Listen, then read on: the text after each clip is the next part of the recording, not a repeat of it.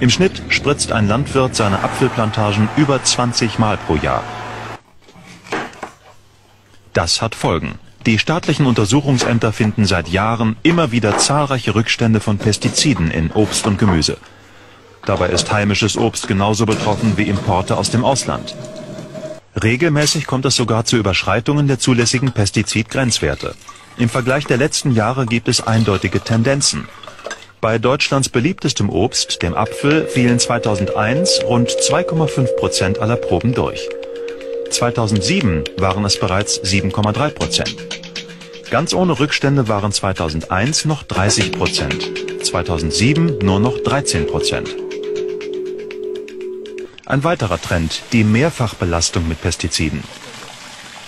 Auf Obst und Gemüse sind immer häufiger Rückstände von mehreren Spritzmitteln gleichzeitig zu finden.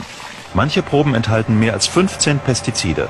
Das für den gesundheitlichen Verbraucherschutz zuständige Bundesinstitut für Risikobewertung sagt dazu in einer Stellungnahme, wenn die zulässigen Höchstgehalte für einzelne Wirkstoffe eingehalten werden, ist es praktisch ausgeschlossen, dass Wirkungen von Pflanzenschutzmittelrückständen in Lebensmitteln zu gesundheitlichen Beeinträchtigungen der Verbraucher führen. Das klingt beruhigend. Sogar fast zu schön, um wahr zu sein, dachten sich Toxikologen von der Universität Oldenburg. Die Forscher wollten es genau wissen. Wie wirken Pestizide in Kombination?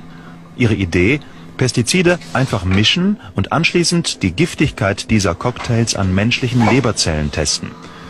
Die Stoffe sind dabei so niedrig dosiert, dass sie unterhalb jedes Grenzwerts bleiben.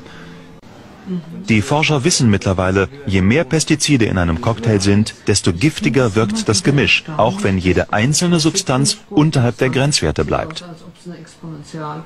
Um bei akut toxischen Pestiziden Grenzwerte für den Menschen festzulegen, rechnet man die Ergebnisse um. Und zwar auf ein Kind von 16 Kilogramm Körpergewicht, das rund 250 Gramm der belasteten Frucht verzehrt. Diese akute Referenzdosis ist ein Wert, der nicht überschritten werden darf, sonst drohen gesundheitliche Schäden. Doch die zugrunde liegenden Tierversuche lassen Kombinationswirkungen außer Acht.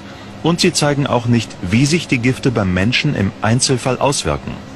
Man müsste auch Kombinationswirkungen testen. Das ist bislang kaum der Fall oder ist auch nicht vorgesehen. Es wird alles nur vom Einzelwert abgeleitet und das ist nicht richtig.